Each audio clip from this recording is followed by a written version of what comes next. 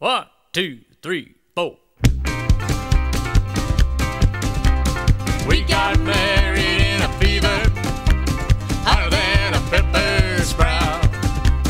We've been talking about Jackson ever since the fire went out. Hey, I'm going to Jackson.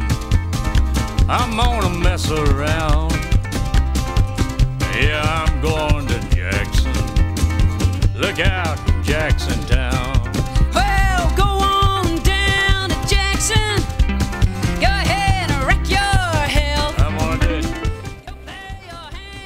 Well, for those of you that could be interested, it's been over 30 years since this old man cleaned a hog.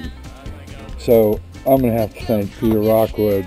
He, he's my hunting coach. He's going to brief me on what I need to know because somewhere on there some glands up on above the ass of this thing that you don't want to screw with. I can't even remember why. I might love glands.